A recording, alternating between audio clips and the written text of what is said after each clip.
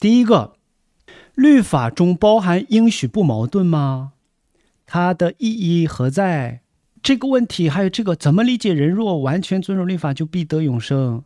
我发现大家的问题好像没读书发出的问题哈。仔细读书，发现问题，读不懂再问，草草了了读了，连蹦带跳的读。你问的问题其实书里都写了哈，而且非常重点的强调，结果还问这样的问题，所以老师就觉得，哎，你有没有认真在读书啊？还是只是为了写问题？看这个态度又不像为了编问题而问哈，律法中包含的应许不矛盾吗？我们对律法的概念有先入为主的错误。读书的时候你要留意，我刚才也强调，加尔文所说的律法是指什么？我们所说的律法是靠律法的行为得救，也是罗马书里面常常说的，不是靠律法，不是行律法。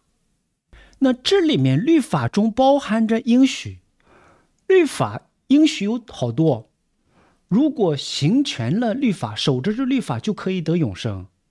这个应许和律法本身没有矛盾，真的完全遵守律法，真的可以得永生。问题现实当中没有人能遵守律法，那有人就问了：既然上帝，呃，既然。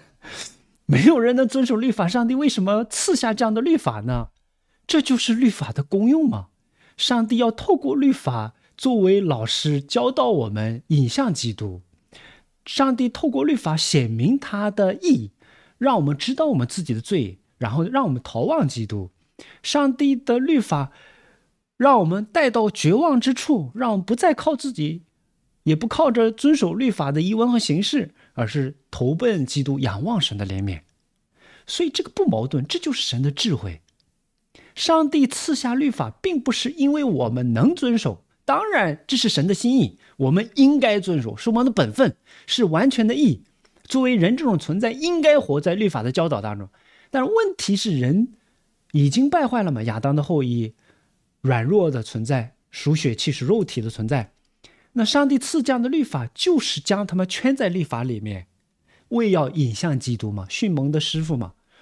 不光教导他们完全的义，但是完全的义对于不信的人、未重生的人是没有能力活出完全，只能定罪、恐惧，让他们绝望，逃向基督嘛，激励他们，引导他们去仰望、寻求、逃奔基督嘛。所以它是有意义的。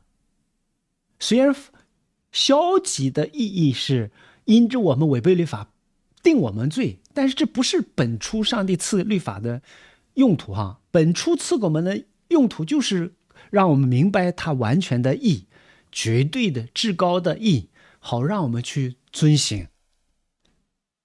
但是问题是，前面也讲了，所以只能在律法之外仰望基督啊。